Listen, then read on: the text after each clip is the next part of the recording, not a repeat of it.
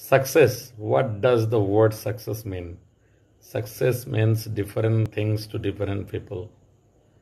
So if you think that success means earning a lot of money and or getting higher position than others, I think it's not success. Just compare driving your car. If you think if you become first and no one is driving ahead of you, then you are successful. It's not possible.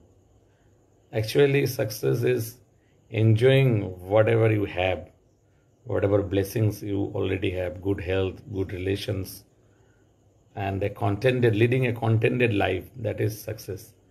And uh, suppose uh, someone is declared that he can never walk. If he take participate in a race, then it's a great success for him it doesn't mean that he has to come first in the race. So don't compare with others. Just think that uh, what you have and what you can and what others feel in your presence.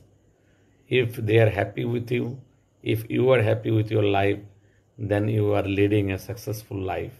Success doesn't want a lot of materialistic gain. Thank you for listening. Please let me know your opinion.